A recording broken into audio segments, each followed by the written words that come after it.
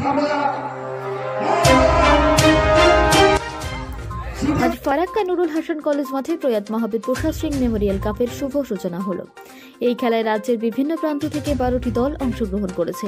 ওই দিন প্রয়াত মহাবীর প্রসাদ সিং এর স্মৃতিতে খেলার সূচনা করেন নুরুল হাসান কলেজের সভাপতি, বিশিষ্ট সমাজসেবী ও শিক্ষানুরাগী রামকৃষ্ণ সিং ওরফে সুন্নবাবু। রামকৃষ্ণ সিং বলেন খেলাধুলা শিক্ষার অঙ্গ। দুই বছর করোনা আবহে যেমন বন্ধ ছিল স্কুল, কলেজ বন্ধ ছিল খেলাধুলা তাই আয়োজন। উদ্বোধনী অনুষ্ঠানে উপস্থিত ছিলেন ফারাক্কা বিধানসভার বিধায়ক মনিরুল ইসলাম, প্রাক্তন বিধায়ক মায়নুল হক, ফারাক্কা থানার ভারপ্রাপ্ত আইসি দেবব্রত চক্রবর্তী, ইলিয়াস শেখ বাবলু ঘোষ, রামকৃষ্ণ চূর্ণ, সৌমেন পান্তে বিশিষ্ট সাংবাদিক ও ফারাক্কা ব্লক সাইবার সেলের সভাপতি আলী আহসান বাপে। ফারাক্কা ব্লকের সাইবার সেলের সহসভাপতি জাহাঙ্গীর আলম সহ আরও বিশিষ্ট ব্যক্তিগণ।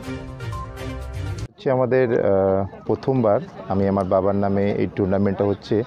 আমি ফারাক্কার কিছু বিশিষ্ট ব্যক্তিদের কাছ থেকে এই ব্যাপারটা জানতে পারি এবং ওনারা আমাকে প্রপোজাল দেন যে এটা আমি আমার বাবার নামে এই মেমোরিয়াল মানে MP Singh late MP Singh memorial cup আজ ফুটবল টুর্নামেন্টটা করানো হবে। আমার খুব ভালো লেগেছে এবং আজকের দিনটাতে প্রথম আমাদের ম্যাচ শুরু হয়েছে। আজকে শুভারম্ভ।